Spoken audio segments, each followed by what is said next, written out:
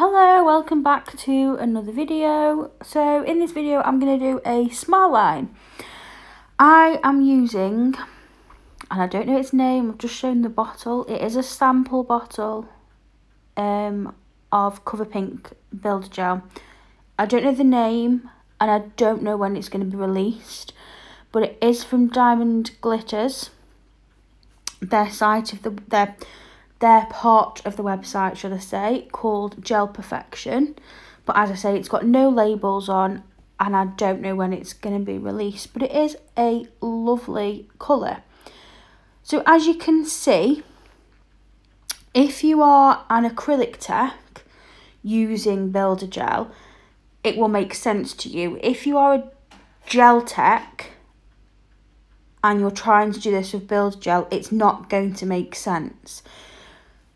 And the reason I say that is because with acrylic, when we do smile lines, we pick up our bead, we place our brush back to front, we place the bead where we want the smile line to be, and we blend back.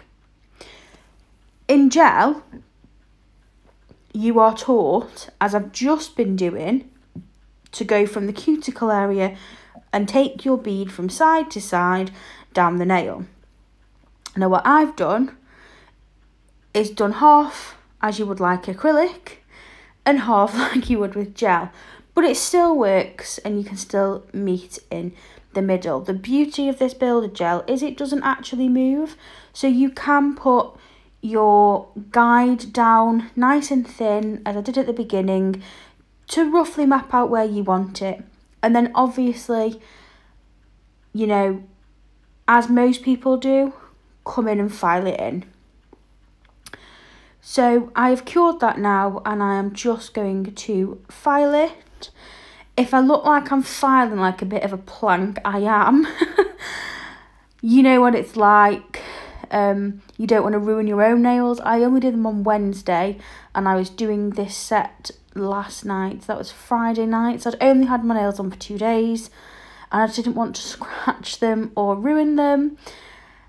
I could wear gloves, but you know, especially working with tips, these practice tips, because they're so small and fiddly, I find it really difficult to actually file with gloves on. So I'm just filing like a bit of a plank. And all I'm doing is I'm just refining that smile line and that edge and making it nice and crisp, nice and sharp, making sure that I've got a good wall to take my white up to. You could try, if I was doing this with acrylic, I could get the smile line in and not have to file it. With gel, it's a bit harder to do that. You could try it, but gel is so much easier to file than acrylic. I would just say just just file it in. It it literally takes seconds to file. And I'm refining that nail bed area as a whole. I'm not just concentrating on the edge and getting the wall in. I'm concentrating on it as a whole because I want it to be even on both sides because then when I do encapsulate and bring my white up, I haven't got as much filing to do. So I'm just going to clean off and clean my own hands by the look of it. And I'm then going to go in with... No, I'm not. Okay, so when I prepare a tip, I always file it first. I usually buff it, but I've run out of buffers. And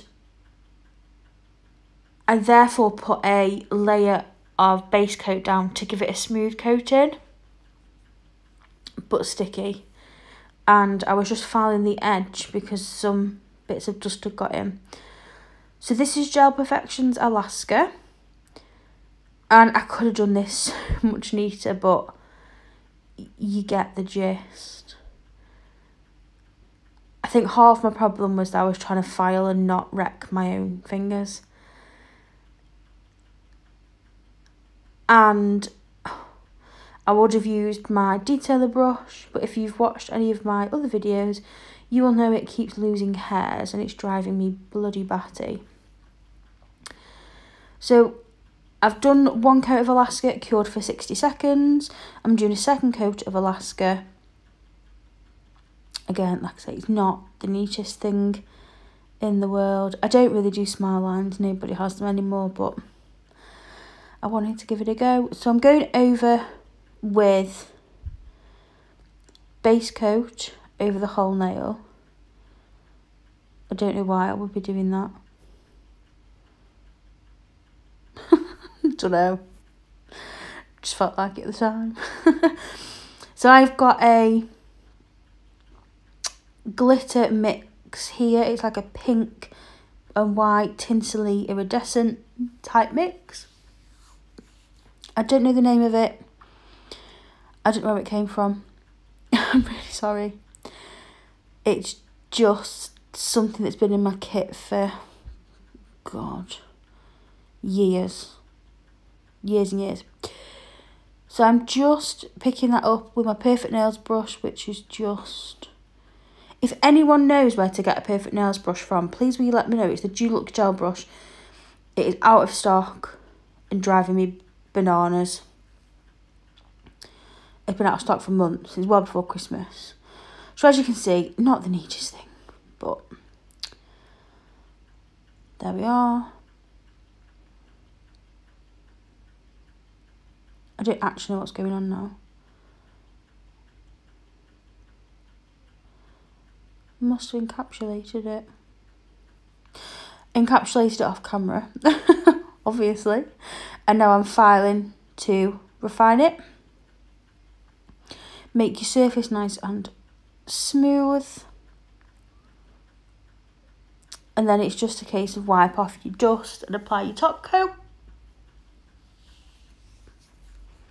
You could add a pigment over, like a white pigment or a pearly pigment, something, I don't know.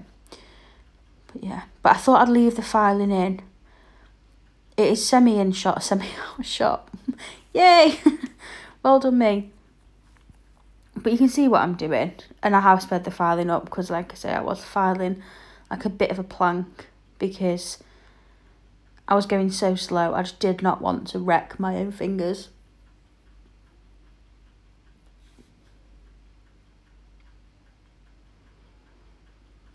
So clean off. Remove your dust. And then add your top coat. Ta-da! So not the not the neatest of things, but you can you know, before I put the glitter on, it was completely neat, nice and smooth. So you can achieve smile lines with builder gels. Thank you for watching, and I will see you soon.